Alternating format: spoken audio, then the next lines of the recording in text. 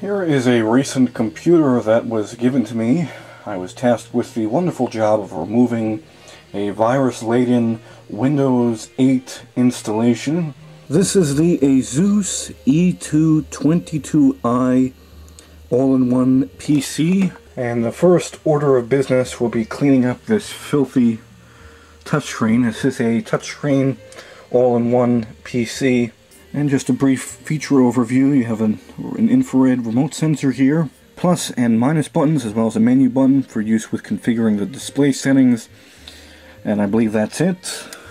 We have stereo speakers here, which don't sound all that bad.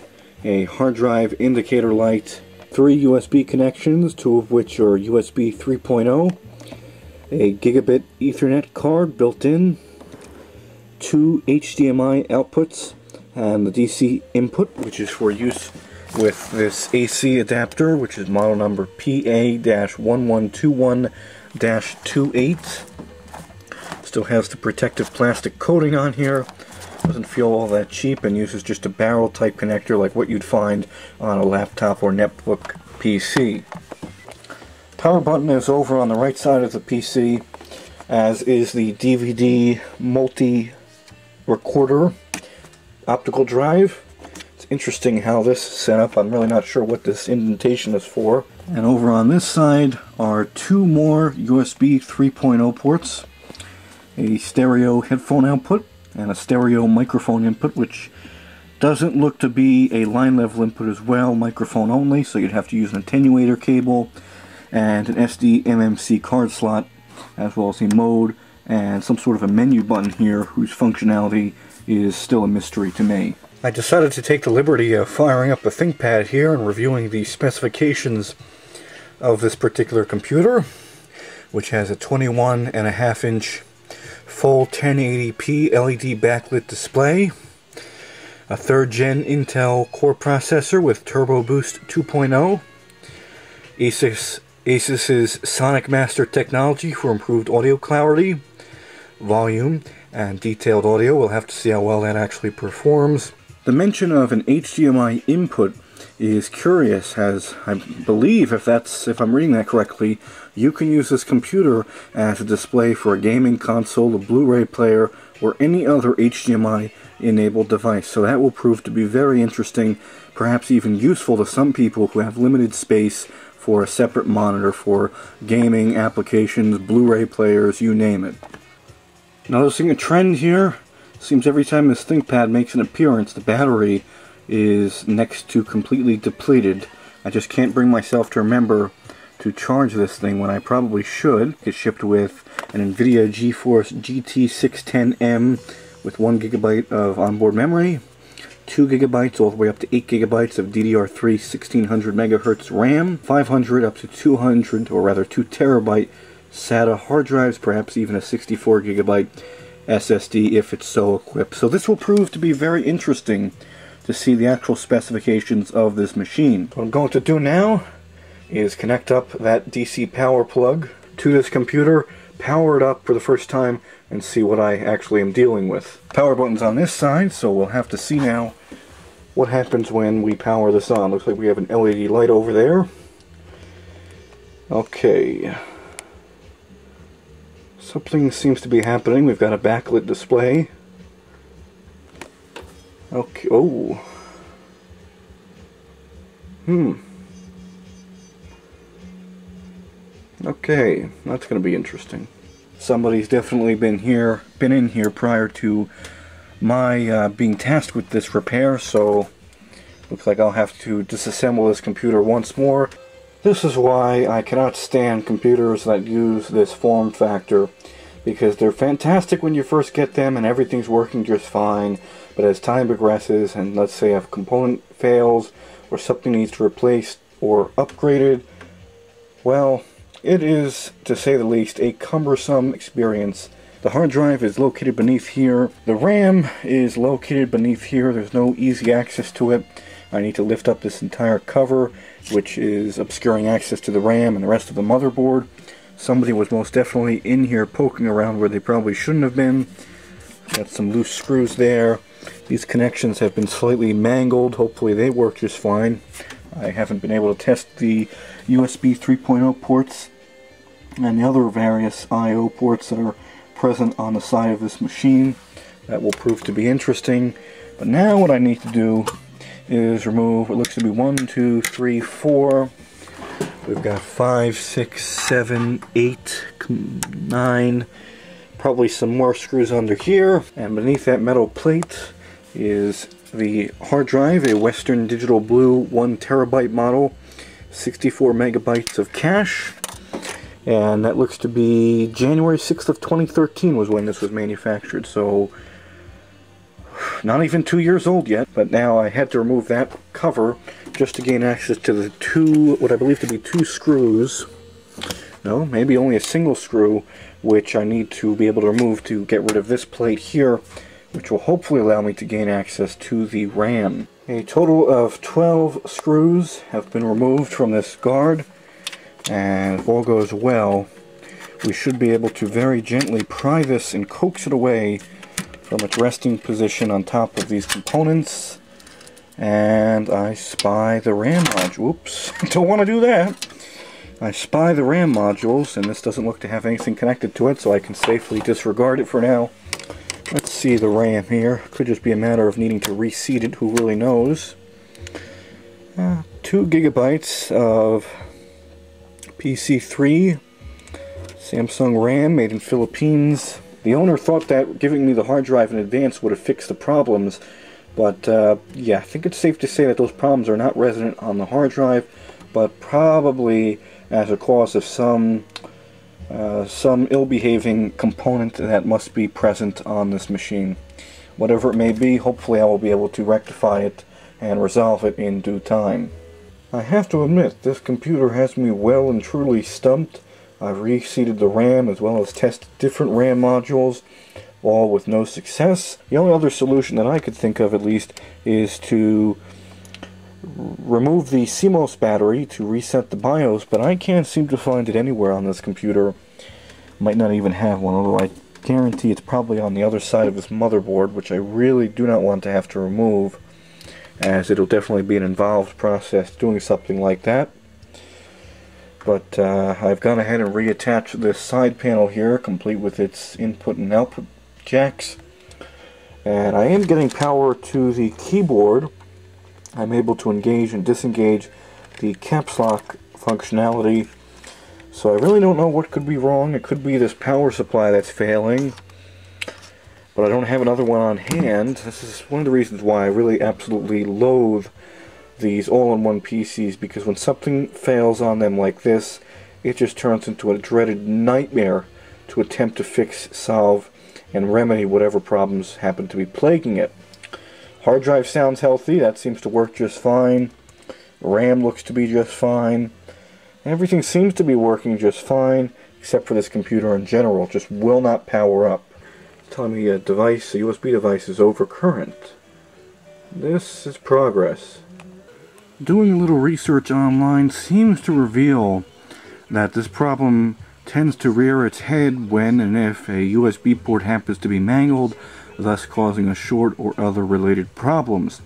You can see that this person was receiving the exact same error message that I just did. I find it a bit funny too that I'm now at least able to get that BIOS screen that shows that warning message after engaging in otherwise unwise percussive maintenance on this PC. I gave it a few um, smacks here and there, and that must have gone ahead and at least remedied somewhat the problem with the USB ports enough that it was able to fire up without promptly shutting down, which would indicate a problem with, you guessed it, the power supply. But the PSU is not to blame. Some more investigative sleuthing by yours truly has revealed that the CMOS battery is inconspicuously located in a rather inaccessible portion of the motherboard, that is the underside of said motherboard. You can see it's right over there. Several screws need to be removed to gain access to it. I've reseated the CPU just in the case that that perhaps was cause for the trouble, which I highly doubt. Well, it's about another hour and a half later, and I have been busily attempting to repair this computer all to no avail. I think unfortunately I'm going to throw in the towel. because I have absolutely no clue whatsoever what could be possibly causing this. I have looked high and low for any signs, any obvious signs that perhaps a piece of metal that was causing a short somewhere on the motherboard, problems with the USB ports. I did however notice that this one right here is quite a bit wobbly in comparison to these. Even after resetting the CMOS battery, I'll let you take a look at what I'm seeing. I'll connect this up to power and I wouldn't really recommend running a computer without its heatsink and heat pipe assembly attached, but this is just for a quick demonstration. It shouldn't do any harm. And if we power this on now, you're going to see what, what I've been faced with for the past two or three hours.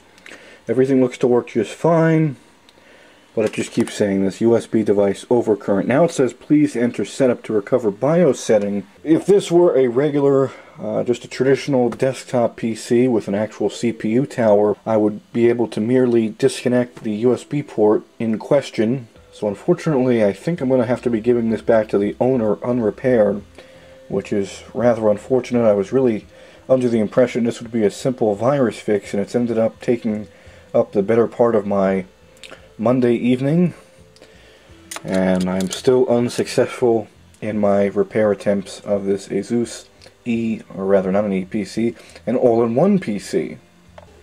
Even I surprise myself sometimes. I was able to successfully reassemble this computer, and this case here simply slides over here, and if I could attempt to do this with one hand, I could snap it on. Sounds like things are breaking, but they're not. It's just the plastic tab snapping into place. And then this button is going to prove to be a bit finicky. It was before. So just a moment. Ideally what you should do is remove this power button before removing this cover and then once you're, whoops, that's not something you want to do. I'm going to flip this on its side and then there we go. Last but not least is this stand which screws into the remaining four screws in this piece of aluminum. There's this plastic trim piece which snaps out of way for easy removal of this stand. Just simply pops in place and snaps like that.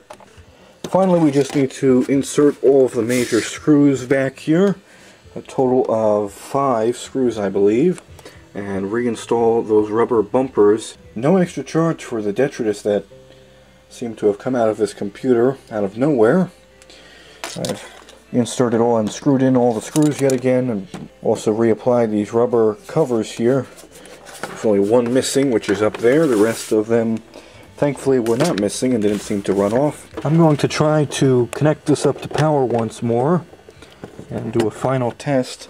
We should get the logo. Yes we do. I will now power this on and I doubt anything is going to have changed. Let's see what we get feel the fan starting up. Color me surprised. This is one of those rare scenarios and situations where the computer problem just seems to fix itself on its own. I have no clue how this happened. Notice it's not telling us about USB devices being over voltage. I think I'm noticing, noticing is some weird flickering that's happening on this screen. I don't know if that's apparent on the camera, but it's flickering on and off. I hope that's not because the uh, USB device is deciding it wants to misbehave yet again. So while this is working, I'll go ahead and grab myself a keyboard and mouse and get it connected to here. Go into this is the first time I'm actually dealing with a computer that has a UEFI BIOS. So uh, this is most certainly a first for me. I really don't know what in particular seems to have fixed the problem, but I'm just glad that this computer seems to be working now. Get a look at some of the specifications here. Intel Core i3 3220 running at 3.3 gigahertz. I'd really like to know what's causing this flickering. I suspect it's either this power supply, which may be misbehaving after extended runtime with a malfunctioning and or shorting USB port, that could have done some damage to it, who really knows? Or the display inverter board could be possibly on its way out as well, I really don't know. And I'll load optimized defaults. There's certainly some issues going on with this computer behind the scenes, but as long as it's able to boot up into Windows, that's all that really matters. I've never, like I've said, I don't mean to sound like a broken record, but some... Okay. Yeah, that's a first for me.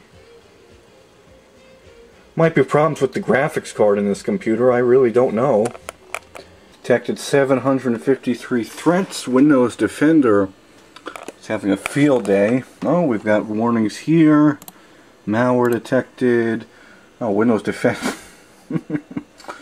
I find it interesting how Asus reserved 149 gigabytes to the Windows C drive, and then there's the data drive, which has 764 gigabytes of space at its disposal, and the owner's only been using the Windows C drive, which they're not supposed to, to store all their documents, which it's almost filled up. It only has 553 megabytes free of 150 gigabytes.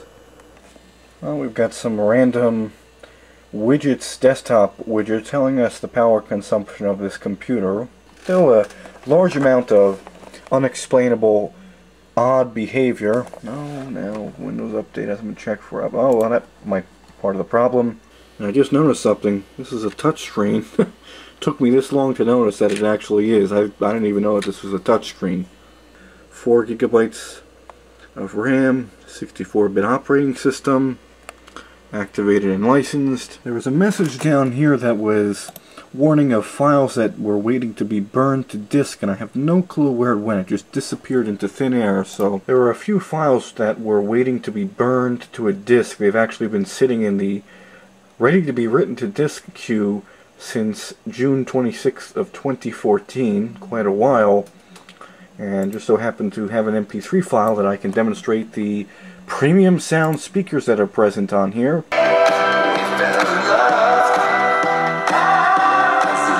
Really not that bad of, a, of an internal speaker setup. Certainly could be better, but it sounds more than acceptable. And it turns out that the majority of the problems were caused by that loose USB port over here. Let's see if I get this right. I want the charms bar, settings, power, shutdown.